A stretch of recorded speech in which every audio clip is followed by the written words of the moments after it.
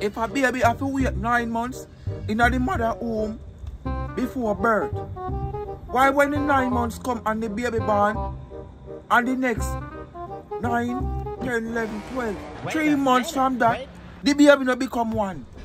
Why the baby have to wait the next set of months again before become one? Me not understand. Just like January to December are 12 months. December to January, I don't step over one month. You know what? Me now make nothing stress me out. Me have my universal remote. Me have to play some music over my neighbor yard. Because them components set play very clean and loud.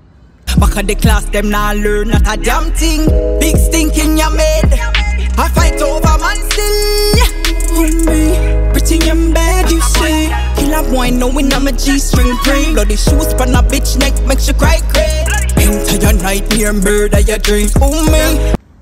If you throw water upon the ground so now, the water become dirty or the, you know, every time I allow this alone, you know.